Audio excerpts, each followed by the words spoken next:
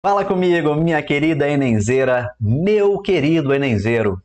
Sou eu, Márcio Léo, professor de biologia já há muito tempo, são quase 30 anos já em pré-vestibulares, nos principais pré-vestibulares aqui da minha cidade, Belo Horizonte, e também muitas cidades aqui do interior de Minas e outras também do Brasil.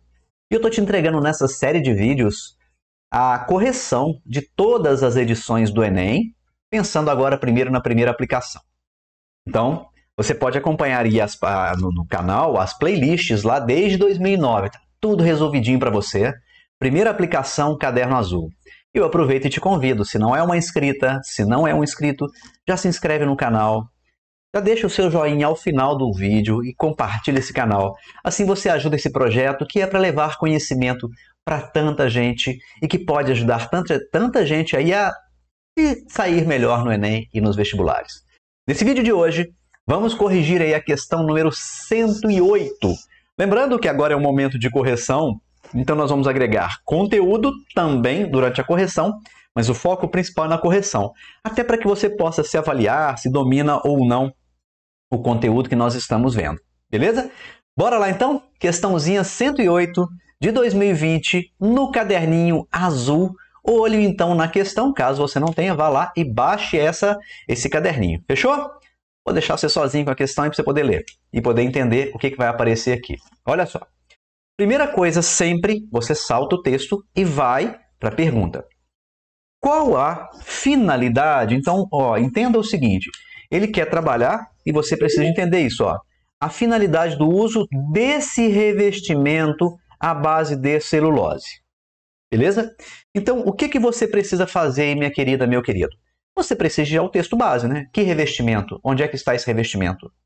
Tranquilo? Então sobe. Agora sim você volta. Minha dica para você: sempre que houver um texto assim grandão, dá uma olhadinha aqui nas, é, na legenda. Na legenda. A legenda fala assim: ó, análise de perfil de dissolução de cápsulas gastroresistentes. O que é gastro, figura? Gastro é estômago, ou seja, cápsulas resistentes ao estômago resistentes à secreção gástrica, resistentes ao material que passa pelo estômago, né? aquilo que está chegando lá. Vamos ler o texto? Vamos. Olha só. Na indústria farmacêutica é comum o emprego de substâncias de revestimento em medicamentos de uso oral, pois trazem uma série de benefícios, como alteração do sabor, em medicamentos que tenham um gosto ruim, melhoria na assimilação do composto, entre outras ações. Até aí, não te acrescentou nada, né? Até aí só trouxe informação. Alguns compostos poliméricos. Ai meu Deus, o que isso quer dizer, professor? Poliméricos vem da palavra polímero, né? Polímero é aquilo que é formado de muitas unidades repetitivas, de muitos monômeros. São macromoléculas, são coisas grandes. A base do polissacarídeo celulose. Então já te informou aqui que o polissacarídeo é a celulose. E a gente encontra onde? Na parede celular de plantas, na parede celular de algas também.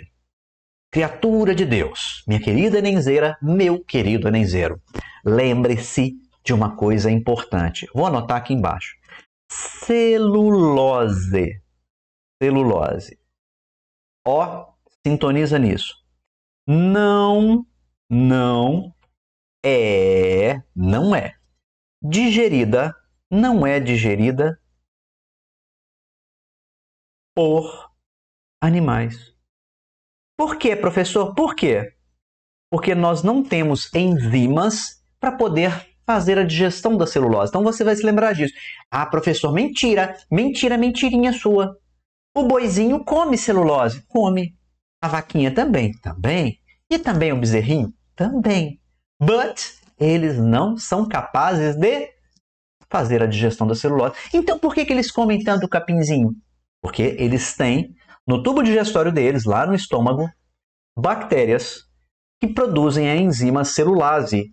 E essa enzima produzida por bactérias é capaz de digerir a celulose, de degradar a celulose, de desdobrar, de fazer a hidrólise da celulose.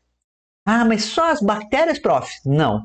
Bactérias, protozoários e fungos são seres que conseguem fazer a degradação, que conseguem fazer a digestão da celulose. Então você vai sempre se lembrar disso mesmo que seja um animal herbívoro e se alimente predominantemente de celulose, ele, ele, ele, e agora você vai ficar comigo, ó, ele, o animal, não é capaz de fazer a digestão da celulose. Beleza? Quem faz a digestão da celulose são bactérias, protozoários e fungos. Todos? Não, né? mas uma grande parcela são os organismos decompositores reais que a gente tem aí. Tá bom? Então volta comigo aqui agora. São utilizados para garantir que o fármaco somente seja liberado. O que é o fármaco? É o princípio ativo do medicamento. Né? É o princípio ativo que está no medicamento. Quando você usa lá um medicamento para dor de cabeça, qualquer coisa assim, ali existe um fármaco. Tá? Quando em contato com soluções aquosas, cujo pH se encontre próximo da faixa da neutralidade. Tá. Na verdade, no nosso tubo digestório, vou dar uma palhinha básica aqui rapidinho, tá? Vou aproveitar um espacinho aqui para você, tá? No nosso tubo digestório, você precisa se lembrar o seguinte: na boca, ó, vai ser aqui, rabiscado, o estômago e o intestino. P, isso. Na boca, o pH fisiológico ele é em tom de 7. No estômago, o pH fisiológico é 2. E no intestino, o pH fisiológico é 8. Ou seja, 7 é neutro, 2 é ácido, muito baixo, e 8 é básico. Mas desses todos, qual está mais próximo do neutro? Ah, se você considerar o 2 lá do estômago, está muito distante do neutro. E se você considerar o 8, está mais próximo do neutro do que 2. Então isso quer dizer que quando você coloca uma determinada coisa pela boca, né, um determinado uh, qualquer que seja, nutriente ou alimento, qualquer coisa, lá na boca ele está no pH neutro. Só que o tempo que ele permanece na boca é muito baixo, é rapidamente você está engolindo isso. No seu estômago, ele está no pH ácido, 2. E aí, quando chegar no intestino delgado, ele vai ficar num pH básico, que está mais próximo do neutro do que o ácido que estava lá no estômago pelo ácido clorídrico. Né? O ácido clorídrico faz o pH do estômago cair bastante. Nas resoluções e aulas que a gente tem por aí, você estuda isso em detalhes. Aí é o tubo digestório. Agora é para a gente resolver exercício e dar uma puxada, um spoilerzinho de uma outra, de outra matéria né, que a gente precisa aqui para resolver a questão. Tá? Então, o que, que ele está falando? Que vai passar pelo estômago. Então, a intenção aqui está te dizendo ó, é, que o fármaco somente seja liberado quando em contato com soluções aquosas cujo pH se encontre próximo. Então, ou ele seria liberado na boca, mas é muito rápido, não dá tempo, ou ele seria liberado aonde? No intestino delgado. Então, nós vamos pensar isso aqui, ó. Na ordem, boca, estômago, intestino. Passou por essas regiões. Fechou? Então, nós temos a nossa resposta já na cabeça. Qual é a finalidade do uso desse revestimento à base de celulose?